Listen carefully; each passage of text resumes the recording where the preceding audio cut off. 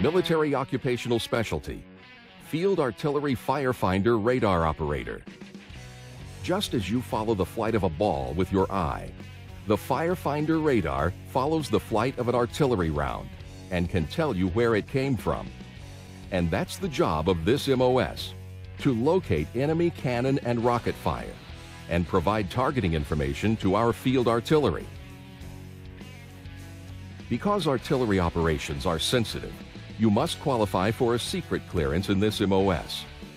Then the Army will train you at Fort Sill, Oklahoma in important artillery skills like map reading, positioning the radar, erecting it, and interpreting its data to guide artillery fire. The Army will also train you to use the radar unit's support equipment, from its secure radios to the operation and maintenance of its generator set.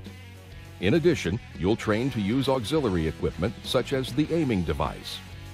After your initial entry training and advanced individual training, you'll work day or night, where your duties may include setting up the field radar unit, operating it, adjusting it, and reading its output.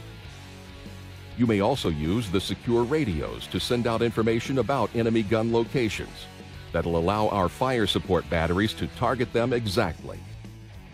Serving in this MOS can help you transition from the military to the civilian employment sector because your skills in leadership, teamwork, and problem solving are skills and values in demand by civilian employers.